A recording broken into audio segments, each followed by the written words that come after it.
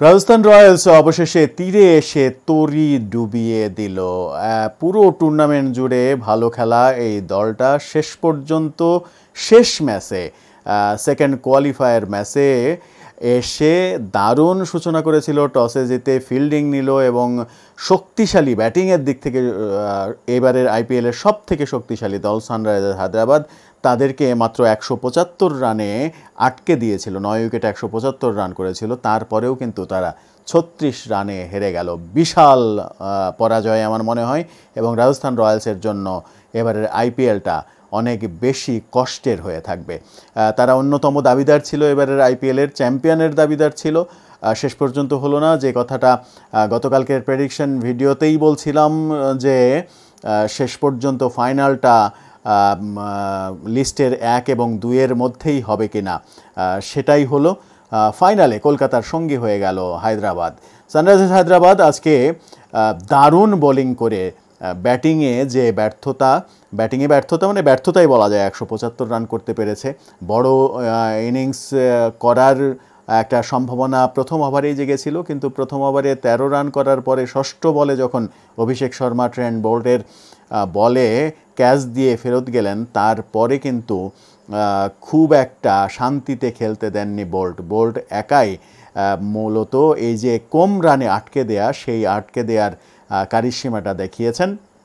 বলা যায় রাজস্থান রয়্যালসের সেরা বোলার তিনি, কিন্তু কে জানে সানরাইজার্স হায়দ্রাবাদের হয়ে আজকে বোলার হিসেবে আবির্ভূত হয়ে যাবেন অভিষেক শর্মা কিংবা মার্করামরা মার্করাম অভিষেক শর্মারা দারুণ বল করেছেন। অভিষেক শর্মা তো বোলার হয়েছেন। চার ওভার তাকে বল করানো হয়েছে আজকে প্রথমবারের মতো এবারের আইপিএলে চার ওভারে চব্বিশ রান দিয়েছেন মাত্র এবং উইকেট পেয়েছেন দুটো। এর চাইতে ভালো বল করেছেন শাহবাজ আহমেদ। তিনি তেইশ রান দিয়ে তিন উইকেট পেয়েছেন এবং Shahbaz Ahmed Abhishek Sharma, T Natarajan Markram সবাই দুর্দান্ত বোলিং করেছেন এবং সেই বোলিংয়ের তোপের মুখে শেষ পর্যন্ত হলো না।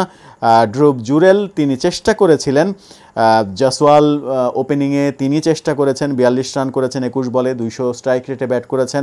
জুরেল শেষ পর্যন্ত ছাপান্ন রানে অপরাজিত থেকেছেন, কিন্তু অপর প্রান্তে বিশেষ করে সিমরান হেডমায়ার এবং রবমান পাওয়াল যে বিগ হিটার দুজন ওয়েস্ট ইন্ডিজের তারা দুজনই ব্যর্থ হলে ম্যাচটা হাতছাড়া হয়ে যায়। প্রথম দিকেও খুব একটা সুবিধা হয়নি।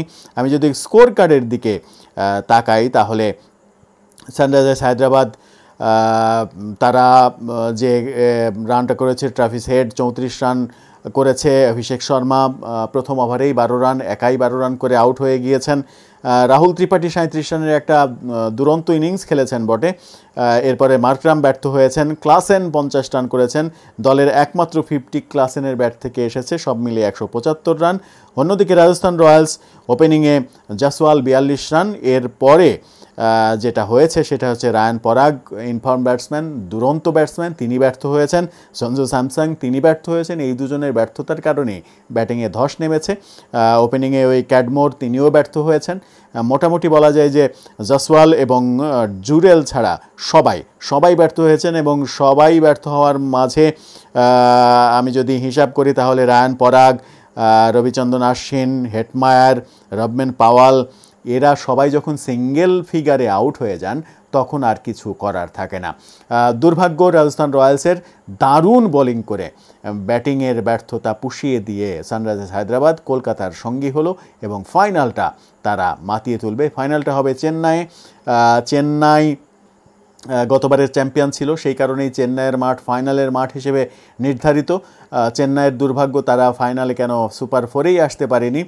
ম্যাচ যখন কলকাতা এবং সানরাইজার্স হায়দ্রাবাদের মধ্যে হবে, তখন চেন্নাইয়ের দর্শকরা মিস করবেন নিশ্চয়ই ধোনিকে। দেখা যাক শেষ ম্যাচে এবারের আইপিএলের শিরোপাটা কার হয়।